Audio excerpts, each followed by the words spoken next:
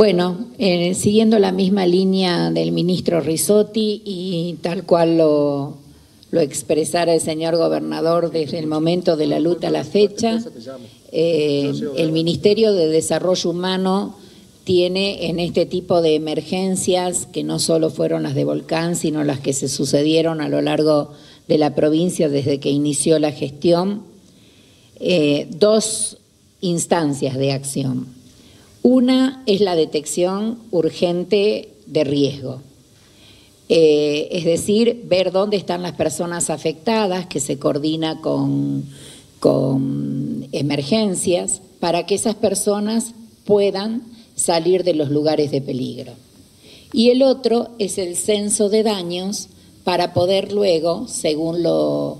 determinado por el señor gobernador en la primer emergencia que vivió esta gestión, que fue en Tilcara, la restitución de los bienes que las personas perdieron.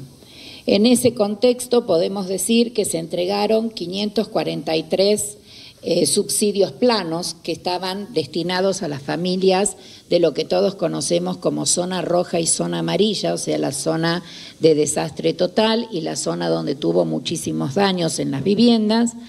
Eh, que eran de 10 mil pesos cada uno, lo que significó 5 millones 350 mil pesos, que ya están todos entregados. Lo mismo que el mobiliario a 140 familias de Volcán, 54 de Tumbaya y 10 de Bárcena, lo tomo en términos generales porque la luta ha afectado las tres localidades